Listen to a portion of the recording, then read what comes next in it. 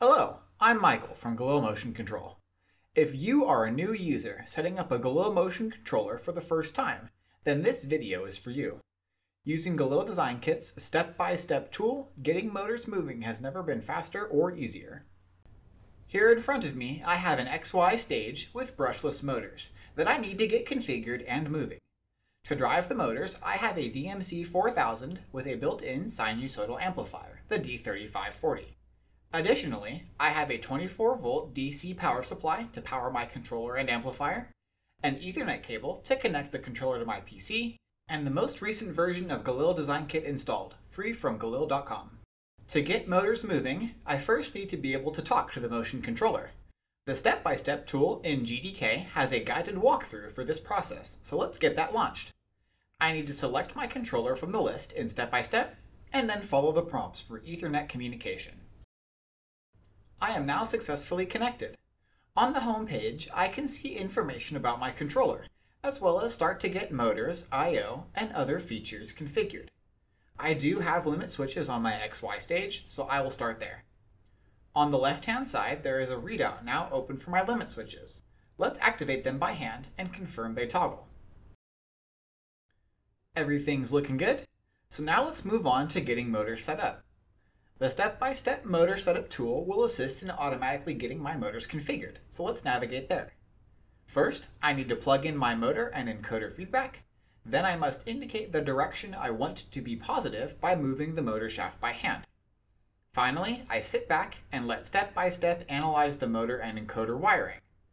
After this test is performed, the software will automatically make any corrections to the wiring of the motor to ensure correct operation. In the test readout, I can see that step by step has estimated my brushless modulus, as well as verified my Hall sensor wiring. With my first motor now configured, let's try and perform a simple move to confirm that the settings are working properly. The terminal example in step by step will help with this. First, I need to enable my motor, then give it a distance to move. Let's command a move of one revolution, which is 4000 encoder counts for this motor. Excellent. I can see my motor is working, but in order to get the motor responding well, it needs to be tuned. So let's go to the tuning module. Because my motor is not yet coupled to the load, I would just like to run the auto tuner, so that's what I will select. Then I just need to press the Run Auto Tuner button and the motor will be tuned for me. After tuning, I can see that a step response has been displayed. Looks pretty good. Now, with my motor set up and tuned, I should probably stop and save my settings to the PC so that I have a backup of my controller in a known working state.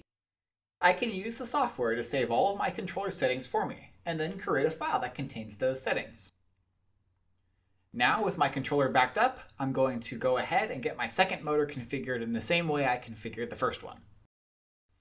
With both of my motors now configured, I can go ahead and couple them to my stage and begin developing my application. All of this has been completed in just a few minutes thanks to Galil Design Kit's step-by-step tool. If you have any questions about Galil Design Kit, step-by-step, or Galil Motion Control, please reach out to our support team, either by phone or by email.